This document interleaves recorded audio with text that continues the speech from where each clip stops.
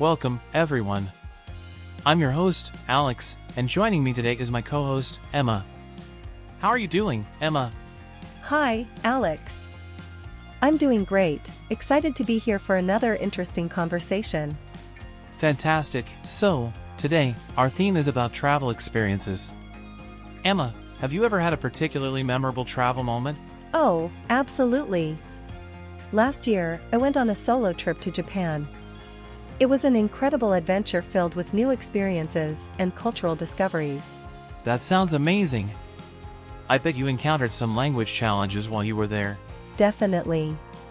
Navigating a country where English isn't the first language can be a bit tricky, but it adds a unique flavor to the journey.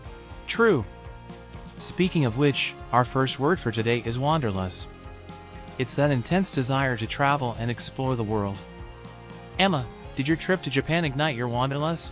Absolutely. Japan was just the beginning. Now, I've got this insatiable urge to explore more countries and learn about different cultures. That's the spirit.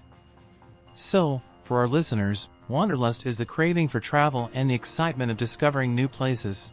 And it's not just about the destinations, it's about the journey itself. Well said, Emma. Now, let's shift gears a bit. While you were in Japan, did you come across any local customs or traditions that left a lasting impression? Oh, yes.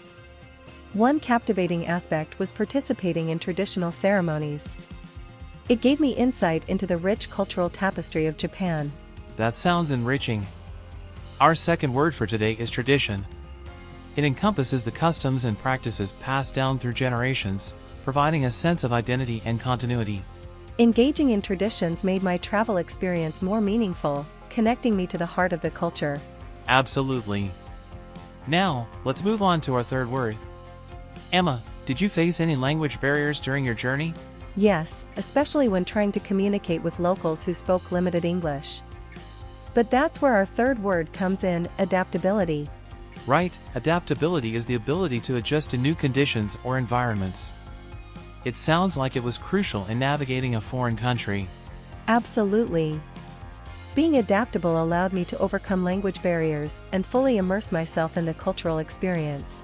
So, for our listeners, adaptability is a valuable skill that enhances your travel experiences, making you more open to new perspectives and challenges. Couldn't agree more, Alex. Learning to adapt enriches your journey in ways you can't anticipate. Well, that wraps up another episode of Speak Up English. Thanks, Emma, for sharing your travel experiences and insights. Thank you, Alex. And to our listeners, keep exploring, keep learning, and embrace the beauty of language diversity. Absolutely. Until next time, happy language learning, everyone.